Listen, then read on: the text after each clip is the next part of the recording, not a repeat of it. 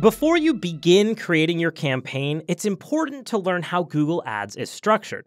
A well organized account will be essential in creating effective campaigns that target the right audience and ultimately help you reach more of your advertising goals.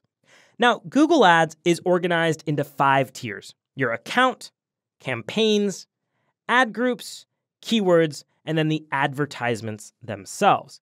At the very top, you have your account, and this is the information that you'll establish when you sign up your email address, password, and billing information.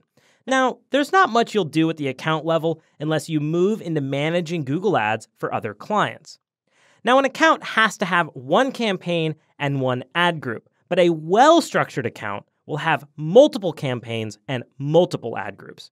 Your campaign is configured with a budget and a variety of settings that will determine when and where your ad appears.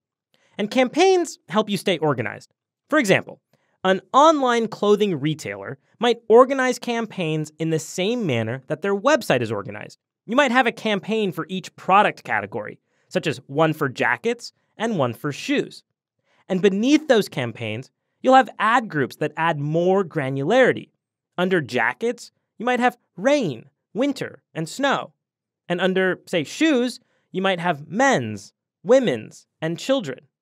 This is how you can organize campaigns by category. But you can also organize campaigns by objective.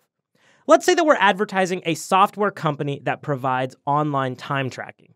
Now, you might have two objectives. One could be to show up alongside competitors, and the other is to show up for people searching for time tracking software.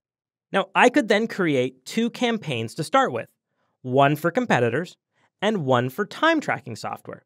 And beneath that, we'd set up several ad groups. And the goal is to have tightly themed ad groups. This way, you're able to show ads that are really relevant to the consumer. So we could create an ad group for each competitor. Next, I'd set up ad groups for the different industries that the software is useful for under that time tracking campaign. This could be freelancers, restaurant owners, and customer service managers.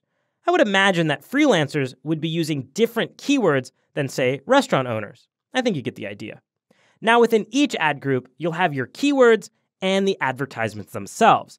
And you really only want 10 to 15 keywords in an ad group, and those keywords need to be tightly themed. So, when in doubt, create a new ad group and keep those keywords limited. Now, as for ad groups, if you have more than, say, 10 ad groups in a campaign, it might be time to break things into more campaigns.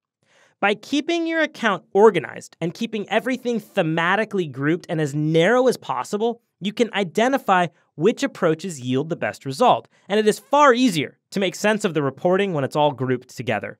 So start organizing your campaigns and ad groups before you create them. I recommend drawing out your structure in a spreadsheet. It's better to start by being too specific than too broad. So consider creating several ad groups that are very targeted. And if you aren't getting enough traffic, well, you can always loosen up that targeting.